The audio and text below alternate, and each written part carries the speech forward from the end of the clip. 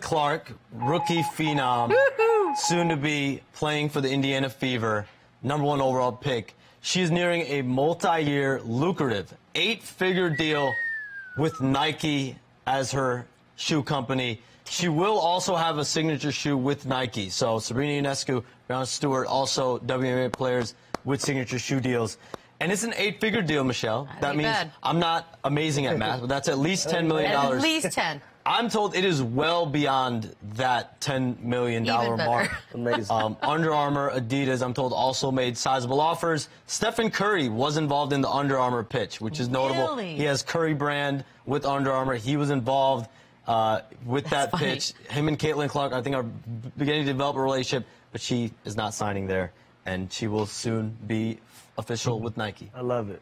Do you? I, I do. I love it. I, I'm, I'm a coach. I'm on the women's side. I am part of this this community. So to see these women getting their just due, having an opportunity to provide for themselves at the level of uh, uh, other NBA players and top stars, I'm encouraged for, for young women to come. So I, I love this. Oh, can't wait to see. Are are the did the Sabrina shoes a big shoe, right? Like that one Oh, does well. In the NBA as well. Yeah, yeah. A lot of NBA players guys, wearing it, yeah. though. The Sabrinas are actually the team shoe of um, my girls. Shout out to Winners United That's Basketball.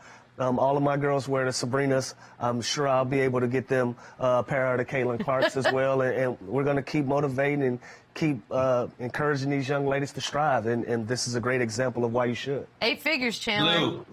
Yeah.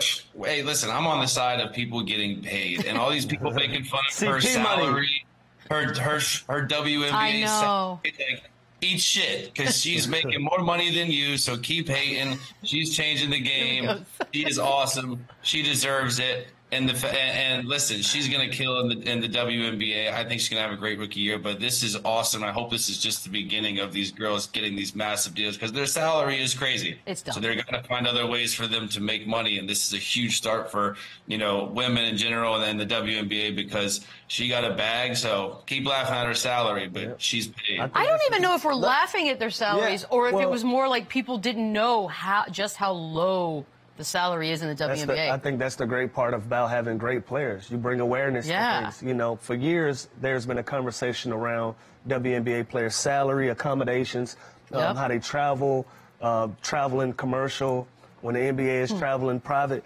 All of these things are now we're starting to bring uh, light to it. We're starting to be knowledgeable of it, and so I love it. The game is growing. Um, it's getting to a point where it's fascinating, and people that usually don't watch women's basketball, they're a part of it now.